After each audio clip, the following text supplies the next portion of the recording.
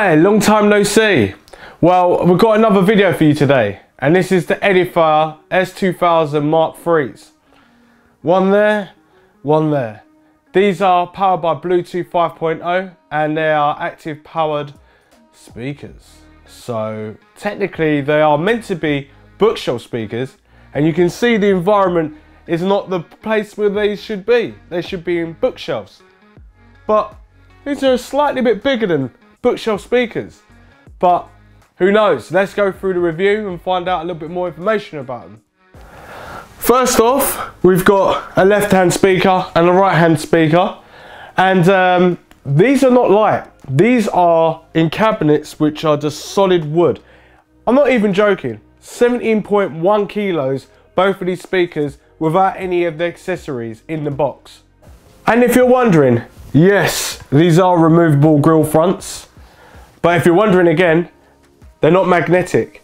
They've got little pokey standoffs on the actual speaker and uh, they've got rubber inserts that keep these firm in place when you've got the sound bumped right up.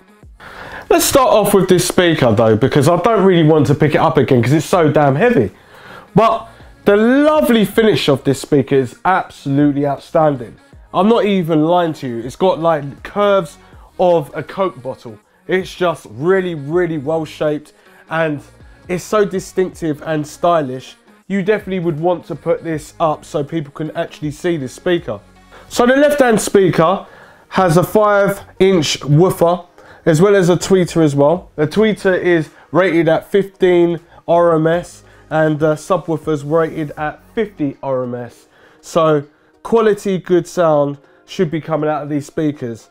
So that is a total of 160 watts of power. But that's actually wrong because it's actually 130 watts of power. Get your maths right. Underneath, I thought I would actually put these speakers on the mirrored base. It wasn't by accident. Look at the rose gold underneath. It actually looks outstanding. If you had this on a bookshelf, just a little bit eye level, and you were doing your books and stuff, everyone be able to see this. It is such a pretty feature. Who would ever thought that you have pretty feet on a speaker? The aesthetics of this speaker screams premium. It's really just a looker. But forget about that, this is the Mark III. So it's all about the sound as well.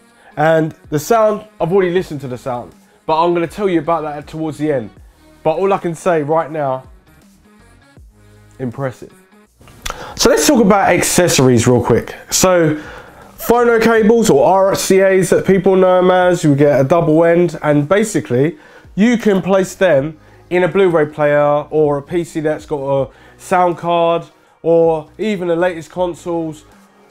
Depends on where you want to, how you want to connect these up. So they're included in the box as well as an optical out and these leads are pretty decent lengths as well. If you want higher quality sound, then I suggest that you look at a music shop or like somewhere like Richer Sounds where you can have better quality phono or RCA cables and uh, you can get that sound a little bit more cleaner without too much static. Even though we'll talk about the sound later on. But you also get uh, RCA or phono cable jack to 3.5 millimeter jack, decent length. But just remember, these speakers are Bluetooth 5.0, so the connectivity is really awesome. This is really crazy.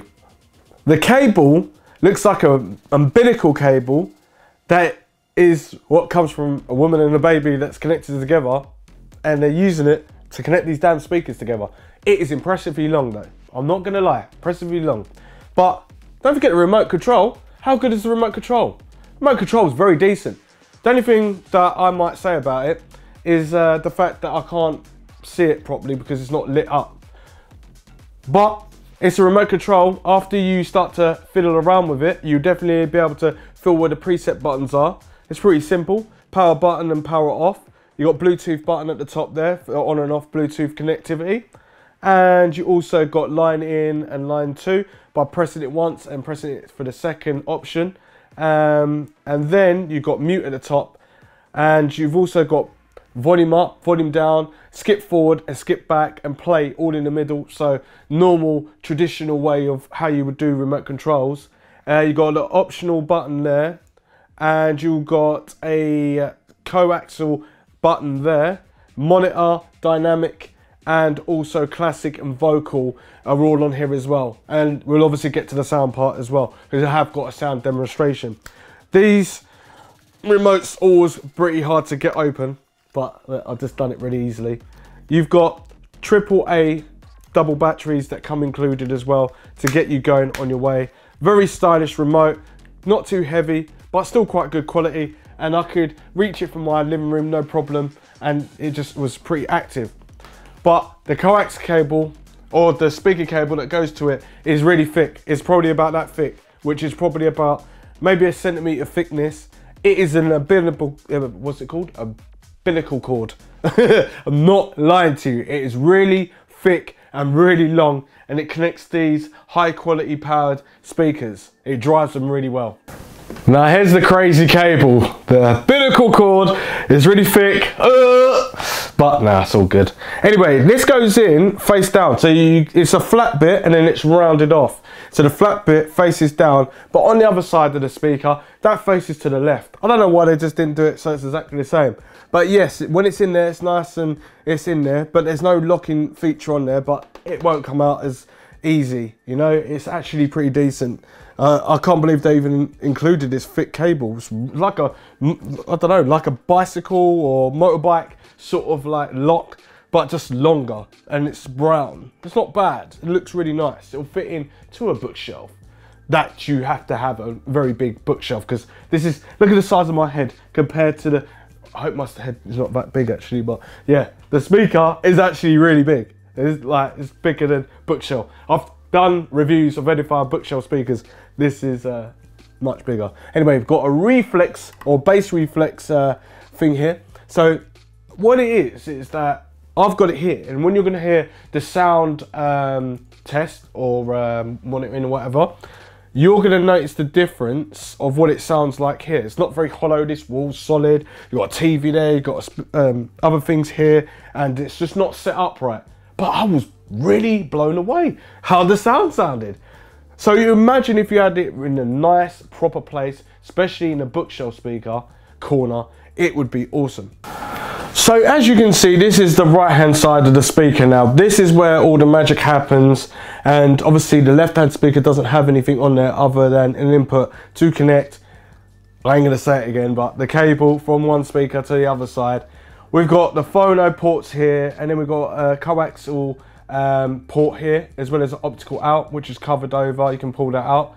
And then you've got the mains adapter. You've got a switch on and off uh, for power. And then you've got bass and treble and then you've got your multiple functions on the back. So you press the button in and you can get your Bluetooth, your coaxial and uh, wherever you've got it connected to, your line in or your line um, two out. So line one, line two out and your coaxial or your optical out. So it's got a lot of functions, but you obviously have to press it. It's like a carousel until it goes back round.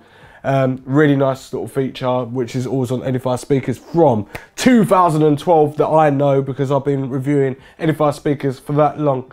So it's like really nice. It's just really damn heavy. You need a really strong bookshelf. So let's talk about the LCD screen. So the LCD screen is a nice little feature that's always been on majority of Edifier's products. So you can actually see what you're doing. But it's the fact that it is really quite impressive because it's got an LCD screen. You press a button and it kind of just, just slides in. It just looks really nice. It's like really quite clean and clear. The only problem is if you've got a bookshelf and, no, if you've got a bookshelf, that's fine. If you've got the covers on, it's a little bit, you can't really see it as much unless it's a little bit more higher. But it's not really much of a problem because you can see on the remote control where what buttons you've actually input to do your presses on or your presses to command your input in. I think that's what I meant to say. Now we come to the part where it's most obvious what you've come here for. Speaker sound quality.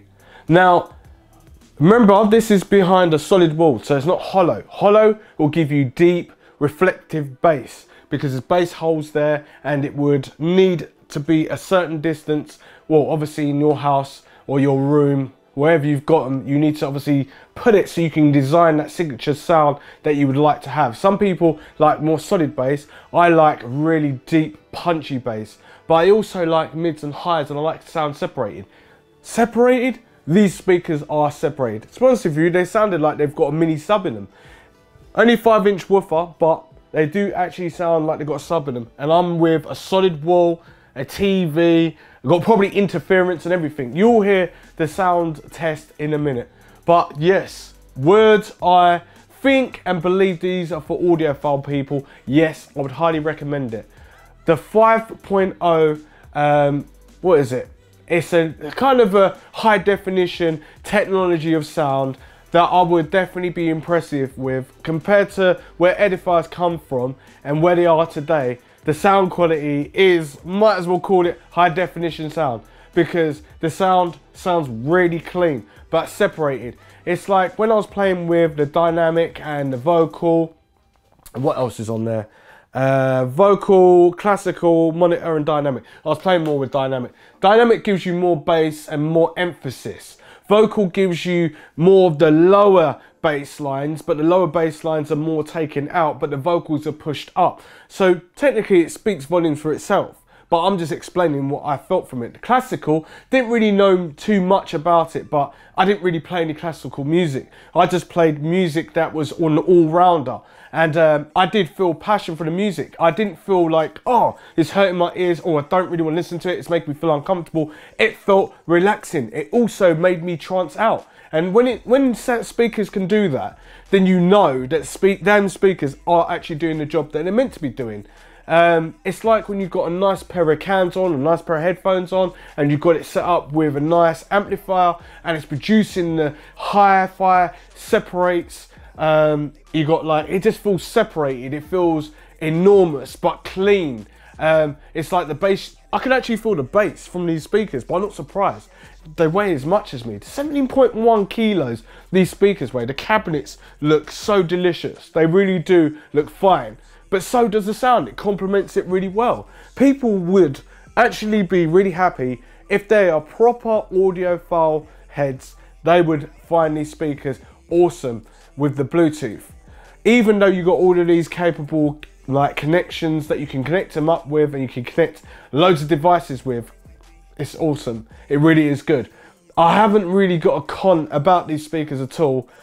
It's just they're slightly bigger than what bookshelf speakers should be, but cars are getting bigger these days. Families getting bigger these days. I don't know what to say about it.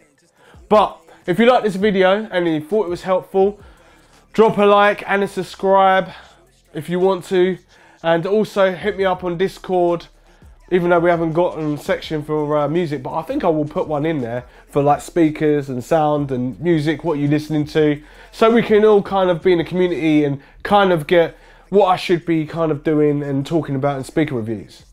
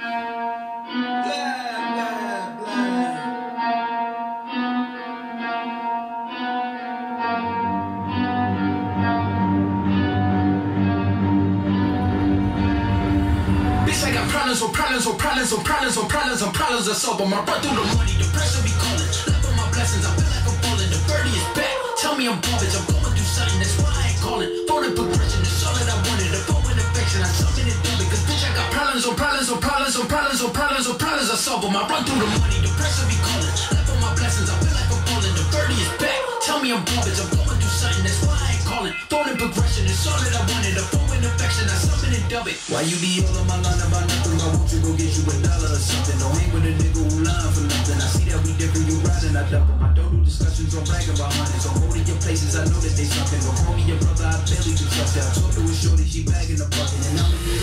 dollars on corporate, so hand me the money, I divvy the pie. I'ma give all of my people a portion to build them a fortune, I'm flipping the ride. I can't be mixy when iffy the vibe, and 40 on 50 is really the time. Why is you all on my phone like you want me, like you wasn't pushing the kick to the side? I don't know if you bitches are thinking I'm blind. Cross on my crosses and down on my eyes. Done with your efforts, I'm dealing with pressures. I know it's a lesson that's worth to watch. Dubbing the mixes I'm mixing, I know I've been missing. I needed some personal time. Fuck all the pictures, dimensions. I it, I'm staying inside. Bitch, I got problems on problems on problems on problems on problems on problems solve them. I run through the money, the pressure be calling. Left on my blessings, I feel like I'm falling. The birdie is back. Tell me I'm garbage, I'm going through something. That's why I ain't calling. Phone progression, it's all that I wanted. The phone and affection, I summon it through because bitch, I got problems on problems on problems on problems on problems on problems solve them. I run through the money. It's been your man Roger D, and I guess what? I'll see you in another video in 2025, probably. No, it will be pretty soon. But anyway, miss you all. Roger and out.